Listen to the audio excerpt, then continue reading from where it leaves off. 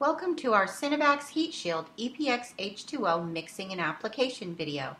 EPX is a two-part system. Part A is the larger portion, Part B the smaller. You'll find it very easy to mix and apply as you'll see as we go through the video.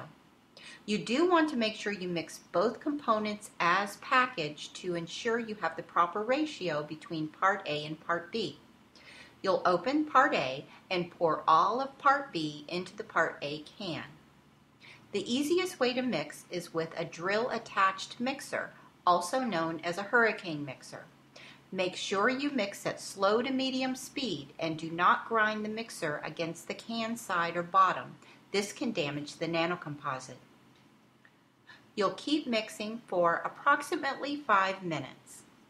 You want to ensure you have a nice even color throughout the can. You want to make sure the color is consistent and there's no ribbons of white showing. That'll ensure everything is mixed thoroughly. Usually takes about five minutes.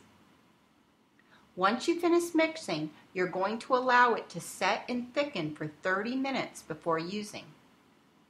You also want to make sure your surface is dry and clean, of course, for proper adhesion. Once you've let the product set, you're going to pour it into the hopper of your texture sprayer, or also known as a hopper gun.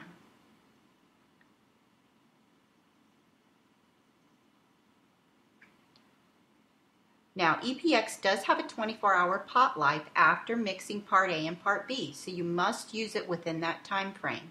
You'll also want to make sure to tarp any areas for overspray. As you can see, it's very easy to spray you want to get the thickness at about 10 mils or about 254 microns. You do want to make sure to measure the film thickness with a wet film thickness gauge and to allow the first coat to completely dry to touch before applying the next one. You want a pebbled finish throughout the surface, not smooth.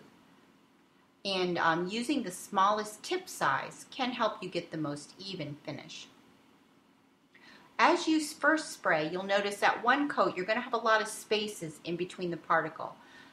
At three coats, you'll start to notice it filling in quite a bit for a more even particle distribution. And then once you get to a six coat coverage, you'll see you have a fairly even film throughout.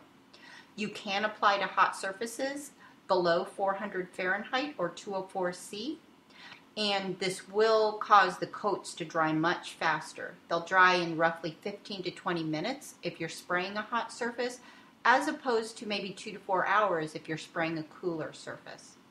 Any questions, just contact us anytime at synavax.com.